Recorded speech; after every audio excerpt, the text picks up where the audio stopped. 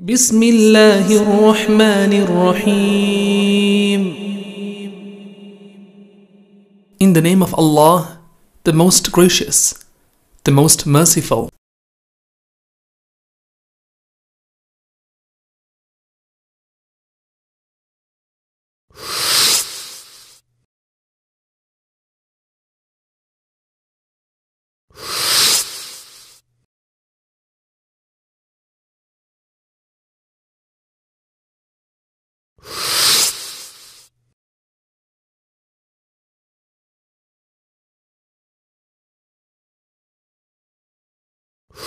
السلام عليكم ورحمة الله وبركاته. بسم الله الرحمن الرحيم، الحمد لله رب العالمين والصلاة والسلام على أشرف الأنبياء والمرسلين نبينا محمد وعلى آله وصحبه والتابعين ومن تبعهم بإحسان إلى يوم الدين وبعد. We praise Allah subhanahu wa ta'ala. We thank Him for everything that He has blessed us with. We send blessings and salutations upon Muhammad sallallahu alayhi wa sallam his entire household and all his companions. May Allah subhanahu wa ta'ala bless them all and bless every single one of us. My brothers and sisters, Surah An-Nisa is a surah that is named after the women. And one of the reasons why it is named after the women is from the very beginning of that surah, Allah subhanahu wa ta'ala clarifies rulings regarding women and He instructs the men folk not to deceive their women in so many different ways regarding marriage as well as regarding inheritance and so many other rules and regulations. So inshallah we will go through some of the reasons of revelation of some of these verses and inshallah we'll commence with verse number 4 of Surah An-Nisa.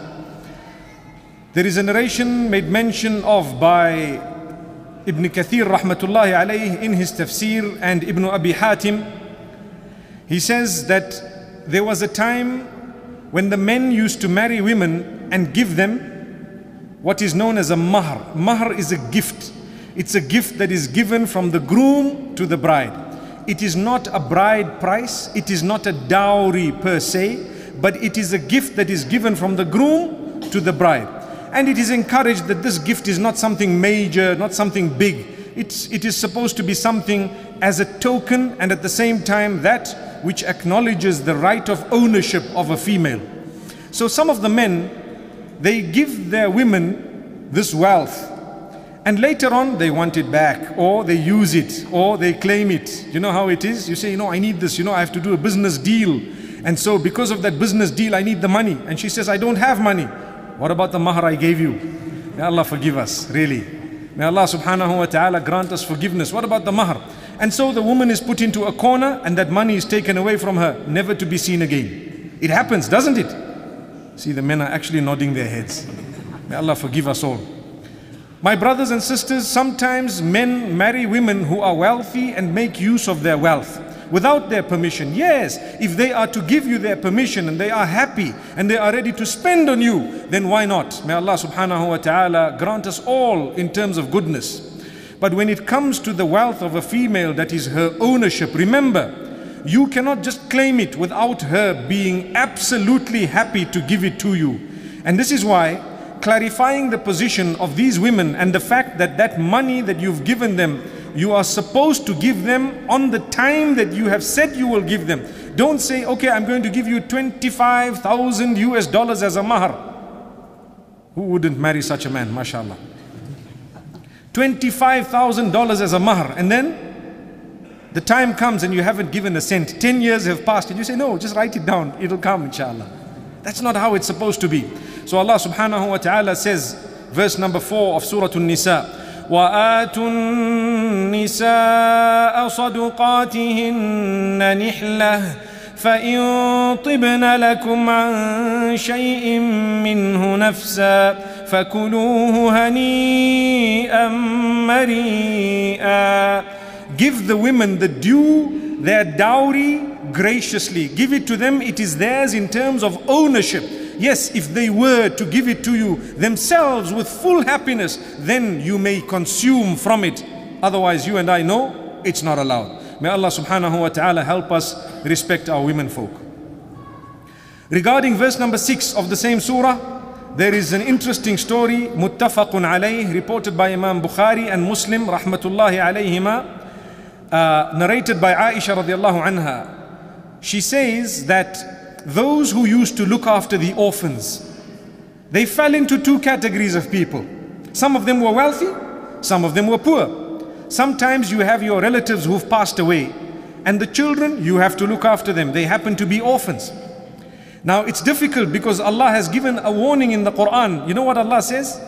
إن الذين يأكلون أموال اليتامى ظلما إنما يأكلون في بطونهم نارا Those who consume the wealth of the orphan unduly they have consumed the fire of Jahannam they have consumed the fire of hell imagine what a stern warning so you find people prefer not to use the wealth that belongs to the orphan but rather use their own wealth. So you're looking after the orphan child, perhaps a nephew of yours, a niece of yours, whoever it may be, and you do not use your own wealth. But some people were poor, and the poor, they found it difficult to look after the, the orphans. Sometimes the well-being of these orphans, it costs money.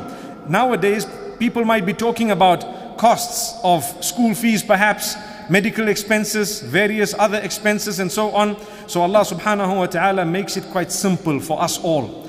Aisha radiallahu anha says, this verse was revealed in order to give the permission to the one who is slightly poorer to take in due measure from the wealth of the orphan.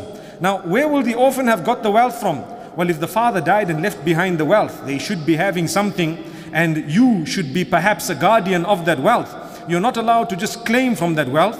The wealth of the orphan that might have come into your hands because you happen to be a guardian. You're not allowed to just consume that wealth. No, you cannot just have it for yourself.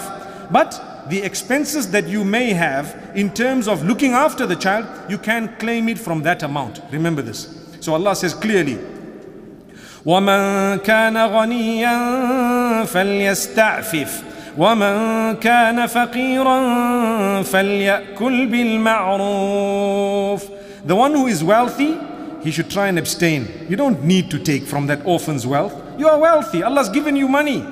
Look after the orphan and for you is Jannah. But for a person who is poor, Allah says you may consume from that wealth in that which is common, that which is known, that which is the norm. so don't think to yourself, okay, I'm going to charge rental for this home of mine. But all of you are living in there anyway. May Allah subhanahu wa ta'ala forgive us and may He grant us enlightenment with this beautiful verse. Verse number 11 of Surah An-Nisa, Allah subhanahu wa ta'ala makes mention of the verses of inheritance. There are two separate incidents. The one which is the common incident regarding the main uh, part of the verse where it is reported in Sunan Abi Dawood as well as Sunan At-Tirmidhi and Imam Ahmad has made mention of it in his Musnad hadith of Jabir radiallahu anhu. He says the wife of Sa'd ibn Rabi' radiallahu anhu came to the messenger sallallahu alayhi wasallam with a complaint. What was the complaint? O Messenger, I am the wife of Sa'd ibn Rabi' radiallahu anhu. As you know, he has been martyred in the battle of Uhud. He has left behind only two daughters. And their uncle, meaning the brother of Sa'd ibn Rabi', he claimed all their wealth. So they have nothing. We need money for them in order for them to get married. And I need money to look after them and so on. This wealth is needed. Here comes the brother. He claimed the wealth and he's gone. Now, my brothers and sisters, let's pause for a moment. Look at the sister, or it's a Sahabiya, sister of ours in faith, much higher than us in rank, obviously. The wife of Sa'd ibn Rabi' radiallahu anhu. She's complaining. Similar complaints come to us today, where people say, or the sisters say, my brother has taken the bulk of the money, they're not giving it to me. These people haven't distributed the inheritance, 30 years have passed. May Allah forgive us. If you want your books to be sealed and closed properly, sort out the matters of inheritance no matter what. May Allah forgive those who've passed away and may Allah forgive us too. We are not allowed to leave the wealth that belongs to others in our own hands.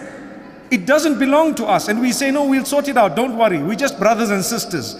When do you know or how do you know when you are going to die? How do you know what Allah has in store for you? May Allah subhanahu wa ta'ala help us learn a lesson. So the Prophet sallallahu alayhi wa said, wait until Allah dictates or decides. And Allah subhanahu wa ta'ala revealed the verses. يوصيكم الله في أولادكم للذكر مثل حظ الأنثيين The verses of inheritance starting from verse number 11 of Surah An-Nisa making mention very clearly that Allah has instructed you to distribute the inheritance in a certain way you have no say how that inheritance will be distributed it is Allah who has declared what will happen to it Allah has given each person a leeway of up to one third to decide whom they would like to give for as long as the person they want to give is not an heir that has been declared by Allah subhanahu wa ta'ala. These rules are very deep and I think we need to learn them. The rules and laws of inheritance affect every single one of us. So the Prophet ﷺ calls their uncle and says, give two thirds to these girls.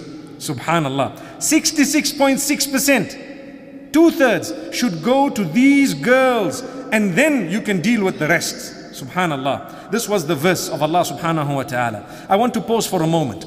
The verse says, لِلذَّكَرِ مِثْلُ حَظِّ الْأُنْثَيَيْنِ Which means, for a male is double the share of a female. A lot of people find fault with the verses of the Quran in terms of inheritance, not realizing Islam and Sharia is a system and a way of life. If you are to follow it correctly, you would understand the correctness of this beautiful distribution. In Islam, a female is always to be looked after financially by her closest male relative, be it a father or an adult son or a husband. Those are the closest in terms of relation. If they do not exist, then the brother. If he does not exist, then one of the uncles. It is your duty to look after the female who is closest related to you in terms of food, clothing, and accommodation. Did you know that? It's supposed to come from your wealth. It is your responsibility. The problem is today, the men don't do it. Do you know what they do? They claim from the wealth of that woman to say, you know what, let's go half-half. May Allah subhanahu wa ta'ala forgive us. May Allah subhanahu wa ta'ala bless us. So at the time prior to Islam, women were being inherited and they were bought and sold. Perhaps we will see it in the next few verses. And Islam came in and not only abolished all that, but what happened is Allah subhanahu wa ta'ala said, How dare you consider women commodities? In fact, they are to be owners of commodities just like you are. They cannot be considered a piece of merchandise to be thrown from side to side. Never. A woman has a status even though she does not need the money in Islam. Why does she not need it? Because moments ago we just said the closest male relative should be looking after her basic needs. That's Islam. She doesn't need it. But look how beautiful Islam is. The more distant that male relative is, the bigger her share becomes. Amazing. If you have a brother with you, then you share it in a way that he gets double you and he's supposed to look after you from that wealth. As for what you got as a female, it's only yours to keep and perhaps to save, to invest, and maybe to spend on something when you want to spoil yourself a little bit here and there. Amazing. But when it comes to the person related to you being an uncle, being a distant relative, then you either get half if you are one female or you get two thirds if you're more than one. Amazing. Two thirds. There is no share in the Shari'i shares of inheritance which goes up to 66.6% except for females. Did you know that? May Allah subhanahu wa ta'ala help us. May Allah grant us a deep understanding. So Allah subhanahu wa ta'ala revealed these verses and He clarified the position so clearly for every one of us. There is justice in Islam. And I want to perhaps give you an example by figures for you to understand. Say if a person passes away leaving behind $75,000. 50,000 would go to the son and 25 to the daughter if he's left behind only one son and one daughter. The 25,000 that went to the daughter is hers alone. Nobody can tamper with it whatsoever. She can pack it, invest it, do what she wants with it. Alhamdulillah. Her basic needs, she must still go to the same brother who claimed 50,000 and must tell him, listen, you need to pay for my food, clothing and accommodation. And on top of that, he must look after his wife and his children. So if he's got about eight dependents or 10, divide the 50,000 by 10, you only get 5,000 each. She's sitting with 25 plus the other five. Do you see the justice of Islam? Where a woman is raised so high, but people who don't know the entire system, they come to you and tell you, look, you're getting a smaller share. And the women stand up and they say, Islam has oppressed us. May Allah subhanahu wa ta'ala help us understand that in fact Islam has raised you higher than you can imagine. May Allah forgive us. There is a hadith in Sahih al-Bukhari narrated by Jabir radiallahu an. He says, I was unconscious, very sick on my deathbed. And the Prophet ﷺ visited me with Abu Bakr as-Siddiq radiallahu an. And the Prophet ﷺ saw me in this condition and he called for some water. He made wudu with the water, then he took some of the water and he sprinkled it on my face. And I gained consciousness. And when I gained consciousness, I asked him, O Messenger, what should I do with my wealth? Imagine on his deathbed, he's worried, my money, my wealth that I've got, what should I do? Do you know why he was so worried? He was from amongst those who's termed kalala in the Arabic language. Kalala means malla wala walid. One who does not have children and he does not have parents. Just him and perhaps his wife. He doesn't have children, he doesn't have parents. What should happen to me? I am kalala. So Allah subhanahu wa ta'ala revealed verses clarifying the issue of kalala. These verses are also made mention of They are separated into two different places, the end of the surah as well as here where the verses of inheritance are made mention of. وَإِن كَانَ رَجُلٌ يُورَثُ كَلَالَةً Notice the term kalala. Allah is making mention of how the brothers and the sisters of this person come into the equation and how to split the wealth between the brothers and the sisters. Like at the end of the surah, Allah says, يَسْتَفْتُونَك They are asking you. Asking you about what? About kalala. قُلِ اللَّهُ يُفْتِيكُمْ فِي الْكَلَالَةِ Tell them, Allah will give you the fatwa. Allah will give you the ruling regarding kalala. And then it continues to say exactly how if there is one sister, she will get half. Two sisters, they get two thirds. If they are sisters and brothers, they will share it, and so on. And if there are brothers and sisters only from a mother, and they are not real brothers and sisters in terms of sharing both parents, then there is another way of distribution. This is amazingly made mention of in great detail in the Quran. May Allah subhanahu wa ta'ala grant us a deep understanding. Verse number 19 of Surah An-Nisa. Allah subhanahu wa ta'ala speaks about something very interesting, something bad that used to happen that was abolished by Islam. According to Abdullah ibn Abbas radiallahu anh, the hadith is made mention of in Al-Bukhari, in Sunan Abi Dawood as well as Sunan Al-Nasa'i. The Prophet sallallahu alayhi wasallam at his time, just prior to when this ruling was actually made clear, when a man dies, his wife was literally inherited by the brother or by a family member of the man. And he had the first option to marry her. And she didn't have a say. She had to get married to the brother because she would have had the children of the brother who's now deceased. So they had a culture whereby the brother needs to marry that woman because they wanted to protect the rest of the children that belong to the same home. And Allah subhanahu wa ta'ala revealed verses abolishing that to say no. When a man passes away, it's the choice of the woman what she wants to do. You cannot come and say that, look, this is what will happen. She has a say. She is a human being. Look at how Islam has raised the status of a woman. From that oppressive culture, Allah subhanahu wa ta'ala comes up. Verse number 19 of Surah An-Nisa. Ya ayyuhalladhina amanu la yahillu lakum an tarithun nisa'a karha. O you who believe, you are not allowed to inherit the women against their will. Inheriting women? May Allah subhanahu wa ta'ala forgive us. So this was also abolished in a beautiful way by Allah subhanahu wa ta'ala. I give you verse number 22 of the same surah, also connected to the oppression against women and how Allah subhanahu wa ta'ala abolished it. There was another very bad culture, and the culture was if a man has had children, when he passes away, if he has a wife, one of the children who does not belong to that woman would actually marry that woman. Did you hear what I just said? Let me try and explain it to you a little bit more simply.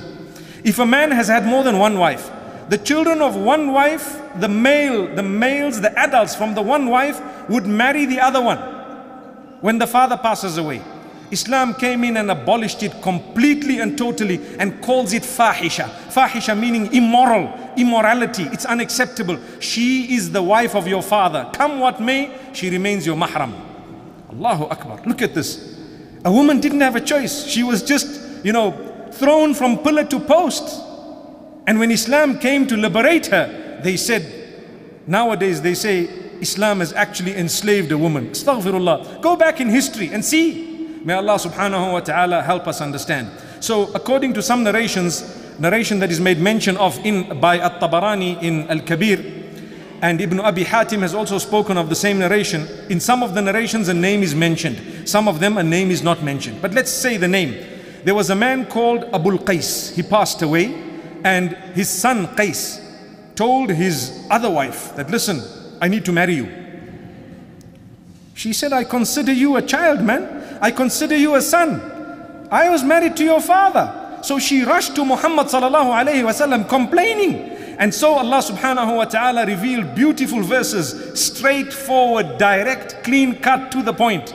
ولا تنكحوا ما نكح آباؤكم من النساء إلا ما قد سلف إنه كان فاحشة ومقتا وساء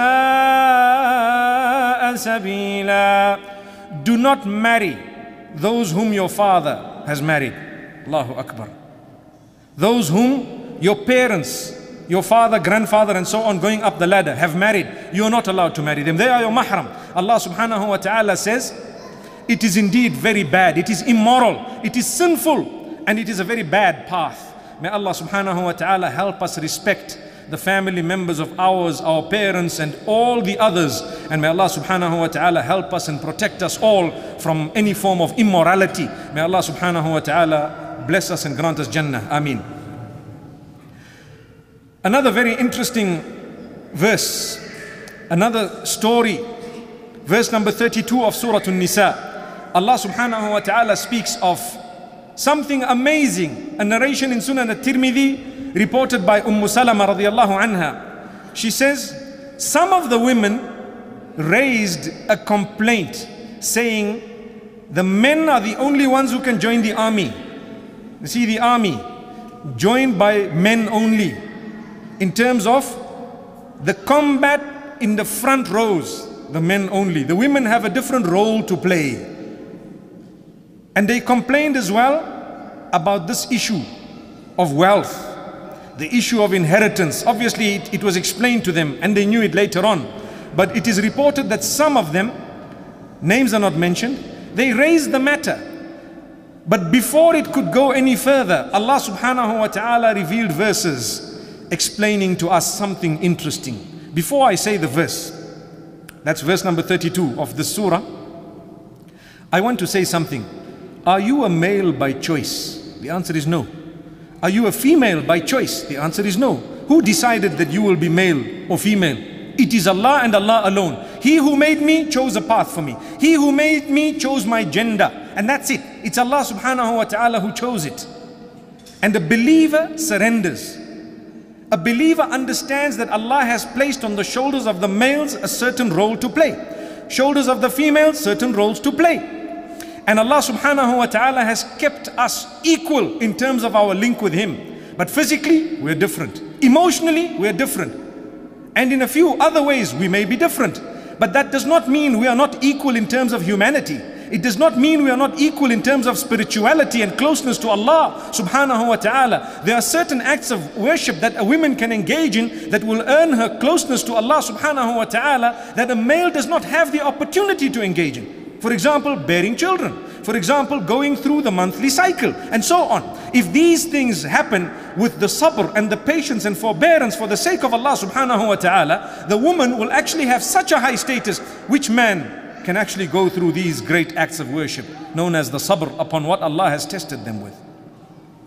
So there are different roles to play. Allah subhanahu wa ta'ala says, ولا تتمنوا ما فضل الله به بعضكم على بعض do not wish for that which Allah has favored one gender over another don't wish for that don't say oh you know what it's so bad to be a female. It's so bad. I'm actually upset. I'm hurt. No, we might want to say, mashallah, Allah has favored males in this, and mashallah, Allah has favored females in this. And alhamdulillah, Allah has done this for a female, and Allah has done this for a male. It's Allah's choice. He chose, He knows why. Let us fall under His system and plan, and let us understand.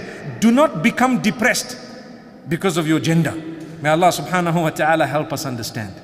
Alhamdulillah. Remember, the restrictions are very limited In fact, some people take it beyond limits. A lot of people use religion in order to oppress the females without understanding that in actual fact it is more culture that may be oppressing the female than religion. Religion liberates a woman. May Allah subhanahu wa ta'ala help us and grant us the true understanding of the term liberation. Amin. Verse number 51 of Surah An-Nisa. In Sunan An-Nasa'i, according to a hadith narrated by Ibn Abbas radiallahu an, he says there was a man known as Ka'b ibn al-Ashraf. He was a Jewish man and he used to swear Muhammad sallallahu alayhi wasallam. He was a poet and he used to utter disgusting words against the messenger sallallahu alayhi wasallam. One day he visited Mecca al-Mukarramah. Now let me put you into the picture. You have Christians, you have Jews, you have Muslims and you have mushriks. Mushriks are the polytheists, right? Those who are closest in terms of the concept of Godhood, the Jews and the Muslims. Did you know this? The Jewish people and the Muslims, in terms of who they worship and the oneness of Allah subhanahu wa ta'ala, they happen to be the closest. Thereafter comes the Christians. Where have the Christians differed?